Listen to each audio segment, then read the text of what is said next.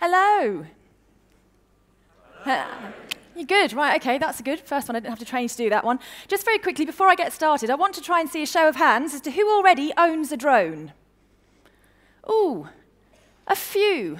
Good. Hopefully, in the next 18 minutes, I'm going to convince every single one of you to put your hand up. But firstly, it's one of those word games, isn't it? If I say drone, you say Okay, that didn't work so well. I say drone, you say fly. You say helicopter. Quadcopter. Well, that's the very technical term. You're obviously an owner. Normally, when I say drone, people say bomb. People say war. What people don't say is humanitarian response. What they don't say is delivering food into Syria. All of these things we can do with remotely piloted aircraft. And in the next 17 minutes, I would like to take you on a journey back and a journey forwards. I might have a couple of things I might ask of you, and I might ask you to ask me a couple of things. So, firstly, a brief history of drones. Well, in May 1896, some bloke called Samuel decided to chuck this thing off of a wooden boat in the Potomac River in Virginia. Now, if anyone here knows their aviation history, can any of you shout out for me? You see, I like this audience participation thing, right? Can you please shout out for me the year that the Wright brothers flew their plane? 1903. So, 1896, we had unmanned aircraft, remotely piloted aircraft, before we had manned aviation. Hold on to that thought. This thing is older than manned aviation. Now, there's a prize if anyone who can tell me who this is. Marilyn Monroe. There is no prize, I lied. Sorry, apart from I think you're awesome. Um, this is Marilyn Monroe in her first ever photo shoot. And as a woman, I never thought I would ever have anything in common with Marilyn frickin' Monroe. Except I do. She was a drone engineer in World War II. And if you didn't know that, then that's a good one for Christmas, like, you know, uh, general knowledge quizzes in the family. What did Marilyn do in the war? So she was 19 years old in this photo shoot. She was still called Norma Jean at the time. And I just want to pause for a moment and recognize the fact that if she had wanted to go into an engineering course in the US, she probably would not have been accepted because she was a woman. Marilyn Monroe was an incredibly complex creature, from what I understand. She read books that I really don't have time to read. She was incredibly intelligent. And I wonder if maybe her life would have been a bit easier if she hadn't been so bright. Her job in World War II was to spray down the fire retardant and to check the rotary systems on these things called radio planes. Radio planes were used by the US Air Force for dogfighting practice before they went over to Europe uh, for D Day. So, just hold the phone. Drones or unmanned aircraft are older than manned aircraft, and they also helped us win World War II. And Marilyn Monroe liked them. So that's three nice facts, okay? So, unidentified flying objects. I'm going to run through now some examples of some uses of drone technology, and I don't do this to bore you, but I want to try and spark some ideas, because quite frankly, we need some creativity in the drone industry. Now, on a Friday night, I sometimes, and if anyone knows me vaguely well enough, will sit with a glass of wine and Google or YouTube drone stuff. Now, I'm not actually advocating this as a method of tooth extraction. I'm not a dentist by training. I have a PhD, not a medical degree. Um, but this kid seems quite happy that he's about to have the tooth extracted by drone, and it worked. So you can find that on YouTube. now, most people might remember this as well. So this was the first time reusable fireworks were really used, right? So drones can be used as reusable, reduce, reuse, recycle, reusable fireworks. Well, they've just actually gone ahead and done one with 500. Okay, this here is the Gimball. This won the Drones for Good prize in the UAE a couple of years ago. This is a search and rescue drone, so it's got a carbon fiber cage around it so the blades don't cut you up when it comes looking for you in a collapsed building or a collapsed mine site or a collapsed tunnel. This is the new version of the dog, the rescue dog. This is, this is what it looks like. I also call this, um, though we hate to mention the movie Prometheus because it was such a letdown, there were some good technical things in that movie. If you might remember where they threw the balls up in the air and it went and did this beautiful laser mapping of the structure that they were in. So there were some good things in that movie. This is the grandfather of the Prometheus drone. And then my world ended as a drone scientist and, and, an advocate for the good uses of drone technology, PokeDrone came along. Well, a couple of years ago, I estimated that we will actually have more drones than smartphones per capita, per family unit in Australia in about five years. And then PokeDrone came along.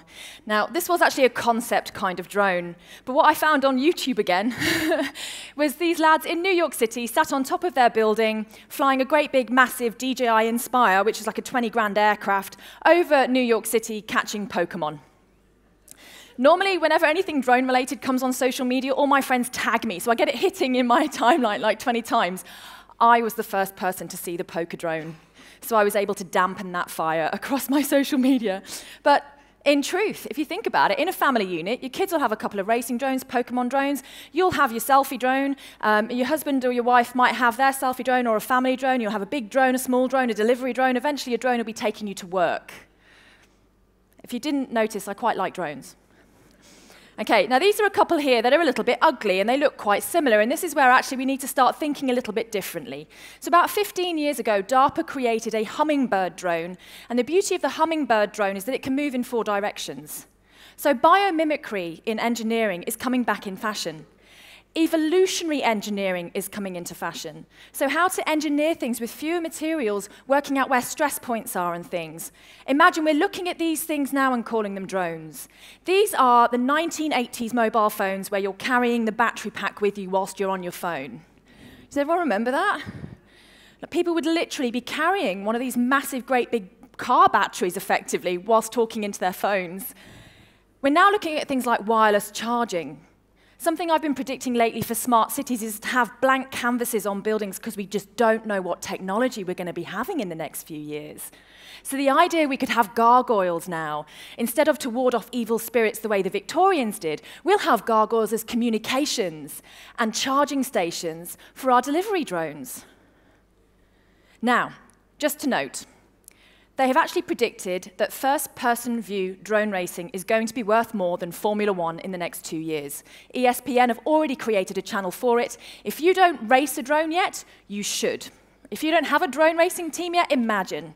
You could be like, you know, the Red Bull racing team in a couple of years' time, all right? So get together and see who wants to form a drone racing team. I might throw a tenner in.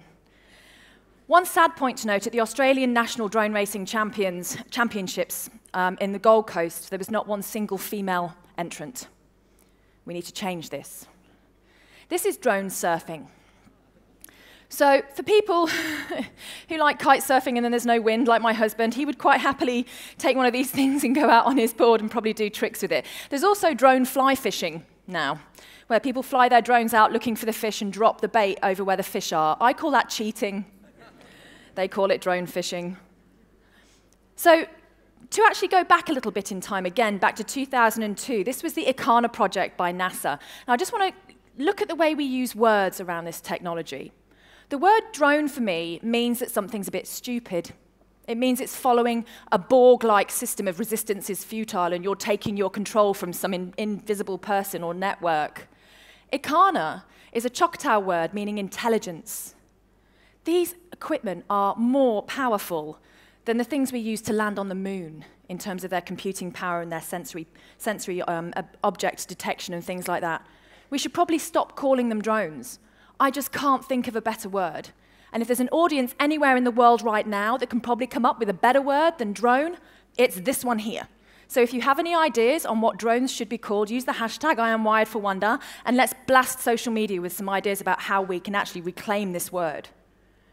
This one here is a box system where the drone is sat inside it. I can imagine seeing things like this all over our smart farms across Australia.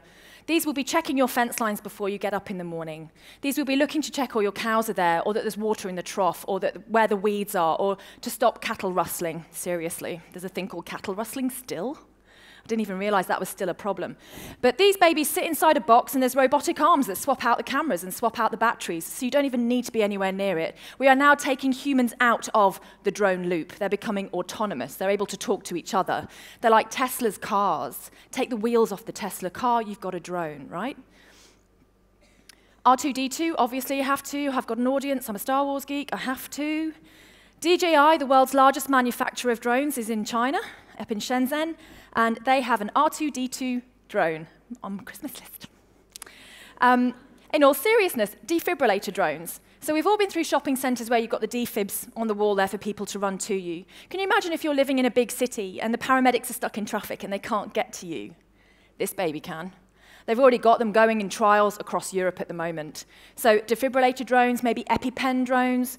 We're now looking at drones to actually deliver medicines to people in remote rural and regional communities. The number of people that die because they can't get diagnosed and get the drugs quickly enough is actually significant in parts of Australia. We have a solution. Steam. Now, this is called the Nixie. Now, it's been on Kickstarter for over a year. It's on my Christmas list.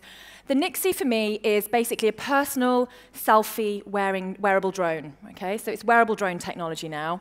Quite frankly, that thing is ugly. Uh, you know, where's my and Bide drone? Where's my Chanel drone? Where's my Bulgari drone? Where's the skins that I can swap them out? You remember Swatch watches where you could change the colors of things to match your outfits? I want one basic wearable with skins that I can put on to match my outfits, right? But moreover, we now in Australia have just developed material that actually generates electricity as you walk. So my jacket could be made of, this is happening, right? This is going to happen in the next year or two. And it's going to happen because you're here. So material that's charging my mobile phone in one pocket and charging my wearable selfie drone on the other. Because we all know on a random Thursday, sometimes when you're walking to work, you just want to take a selfie. You just want to. And how can you? Well, now you can. You take the Nixie off your wrist, you pop it. It's got facial recognition software, the way that the Snapchat filters work. You chuck it in the air. Selfie, no. Selfie, no. Sel, no. Selfie. Catch it, put it back on your wrist, and you've got a photograph. Now, there was a chap in the US that unfortunately had a bad day in that he was flying his drone near the White House for a family photograph. Dads love drone selfies, okay? Uh, buy your dad a drone for Christmas. Um, so this guy was taking his photograph, and the thing went cray cray, and it flew over his head, and it landed in the White House garden. And at that point, you think, where are they going to render me to? Really? Um, luckily, he got away with that. Um, but what happened since was now is there's now geofencing technology. So if you try to fly a drone inside Washington, D.C., it will forcibly land. If you try and fly one near an international border, it will land. Anti drone drones are the new drone. But in all seriousness, cybersecurity. So, the Internet of Things is something that's incredibly interesting to me because you're only as strong as your weakest link. And as of all of us experienced about a month or so ago, the East Coast US websites were all hacked via somebody's baby monitor. So, someone hacked into the networks through someone's Wi Fi enabled baby monitor. So if you're using your drones to actually directly download information to your systems, how cyber secure are your drones, command and communication? So we're testing our drones now, and you can hack them. Your drones can get hacked. Everything can get hacked, right? But you wouldn't think of it. So now there's this whole backlog of security systems around how we command and control drones. Just very briefly, Innovation Fusion, a term I came up with in the pub with my mate Mia. She 3D prints organs, I like drone technology, stick the two together, you've got Innovation Fusion, where two lines of innovation cross over. So you can 3D print everything now, including drones. And Mia and I are looking at taking 3D printing drone technology or 3D printing applications out to schools, especially lower socioeconomic and rural and regional remote schools, so they can actually build things that I can't even imagine. So there are places to go. This wonderful photograph, and I have to um, acknowledge Eric Cheng for this picture. In Vanuatu, they've actually mapped a live caldera of a volcano using a drone, and at the end, it melted. Thank you, drone. Isn't that so much better than putting a human in there? Though I know some people that would just do it for the thrill, right? Um, but there's places to go and there's people to see. And there are also stories to be told. And so I would like to take you now to a place called Uluru. And I'm going to show you a quick two minute clip of some drone footage of Uluru. Now, this is the first, what I would refer to as legal footage of Uluru, because it's been actually produced in partnership with the local storytellers. Everyone else can go and fly their drone and put stuff up on YouTube, but it doesn't mean they've asked permission from anyone to show those sites of cultural significance. This is a question of ethics. This is what geoethics is. What are the ethics of the geospatial data that we are putting straight onto the internet? Enjoy.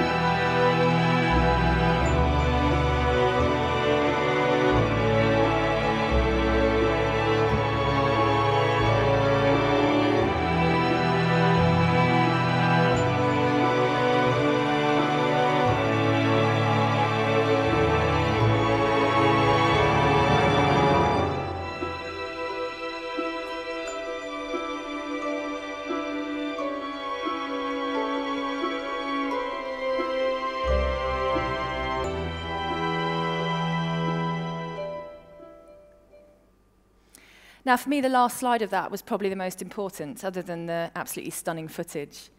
But if you remember when you were a kid, did you ever have dreams where you could fly? I did. I blame David Attenborough.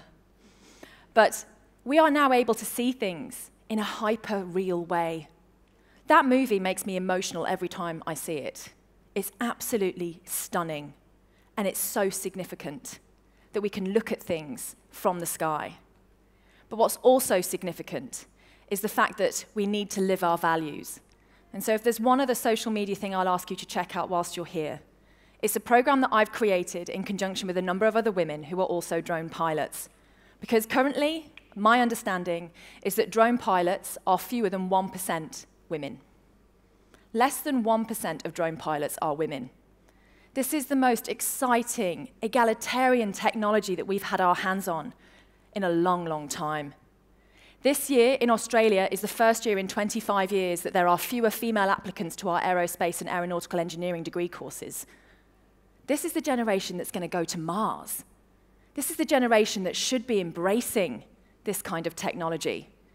So, at Christmas, buy yourself a drone, buy your niece a drone, buy your mum a drone.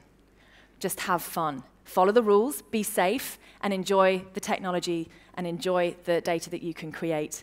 And I'm more than happy to talk to any of you. You can find me on LinkedIn or on social media about any ideas that you might have around drones. And I really look forward to hearing those alternative terms of reference. Thank you so much for your time. Enjoy.